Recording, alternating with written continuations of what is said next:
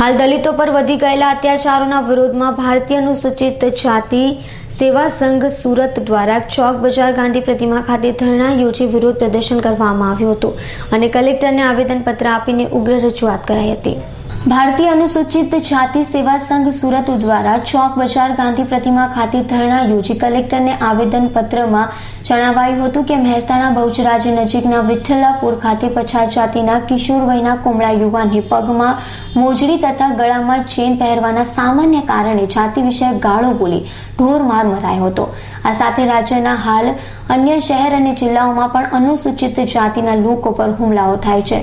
જેથી મૌન ધરણા યોજી વિરોધ પ્રદર્શન કર્યું હતું.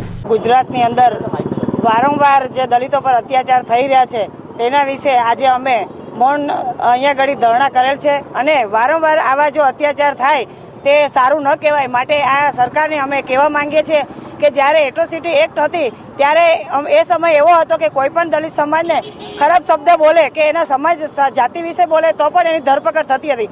આજે આટલી બધી વારંવાર ભાઈને મારવામાં આવ્યો કે તે મોજડી કેમ પહેરી? ઘોડા ઉપર બેસે તો ઘોડા ઉપર કેમ બેઠા? ચેન પહેરી હોય તો પણ મારવામાં આવે.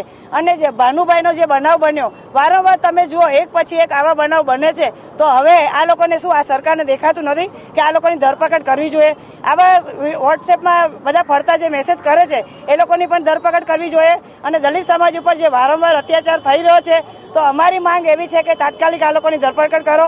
જેથી કરીને અમારી સમાજ ઉપર આવા જે અત્યાચાર થાય છે, તે ન થાય. અને આ સરકારને કહેવા માંગુ છું કે તમારી સરકારની અંદર જો આવા અત્યાચારો વારવાર થશે તે અમે સાખી લઈશું નહીં. જેથી આજે અમે દરેક અનુસૂચિત જાતિના સમાજના ભેગા થઈ અને આ સમાજને અમે એક સંદેશો પહોંચાડવા માંગીએ છીએ કે અમારી સમાજની સાથે તમે જે કરી રહ્યા છો તે તદ્દન ખોટું છે, આ રીતે ન થવું જોઈએ.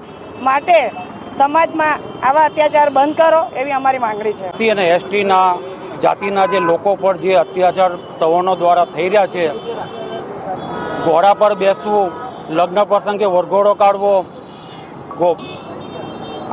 આપણે મંદિરમાં પ્રવેશ ન કરવો, કૂવામાં પાણી ન ભરવો.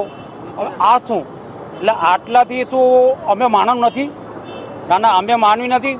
ભારતીય સંવિધાનમાં દરેકને સ્વતંત્રનો અધિકાર આપ્યો છે. પછી સવર્ણો આ, સવર્ણો જો આ રીતે કરતા હોય અને ખોટો જો અત્યાચાર કરતા હોય તો એને તાકીદે, એને જેને કોઈ નસ્યત એને કડકમાં કડક સજા એને મળવી જોઈએ. અને એ અમારા, એ હિસાબે અમે આ એક વિરોધ પ્રદર્શન કરી રહ્યા છીએ. અને અમે રાજ્યપાલ સુધી, અને આ એક અમારો મેસેજ અમે મોકલવા ઈચ્છીએ છીએ. બધા ભાઈઓ ભેગા થઈને સમાજના. વધુમાં જણાવાયું હતું કે જો તેઓની માંગણી પ્રત્યે સરકાર કાર્યવાહી નહીં કરશે અથવા વિધાનસભામાં આવતા તત્વો વિરુદ્ધ કડક કાર્યવાહીનો કોઈ ઠરાવ પસાર નહીં કરે, તો પંચ્યાસી ટકા બહુજનો ડોક્ટર આંબેડકર ચિંધ્યા માર્ગે આંદોલન કરશે તેવી ચીમકી પણ ઉચ્ચારી હતી. Bureau report, Surat.